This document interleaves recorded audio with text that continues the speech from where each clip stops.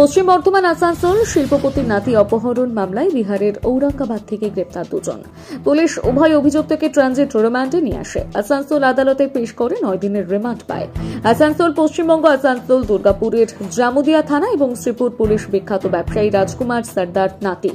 রেয়াম সর্দাকে অপহরণের চেষ্টার মামলায় বিহারের ঔরঙ্গাবাদের দাউদনগর থানা এলাকা থেকে চব্বিশ ঘণ্টার মধ্যে দুই অভিযুক্তকে গ্রেপ্তার করেছে। আসানসোল রানীগঞ্জের ট্রানজিট রিমান্ডে আসানসোলে নিয়ে আসা হয়, যেখানে পুলিশ অভিযুক্ত অজয় মাহাতো এবং চন্দন সিং উভয়কেই আসানসোল আদালতে পেশ করে, যেখানে মামলার শুনানি শেষে আসানসোল আদালত অভিযুক্ত দুজনকে নয় দিনের পুলিশ রিমান্ডে পাঠায়।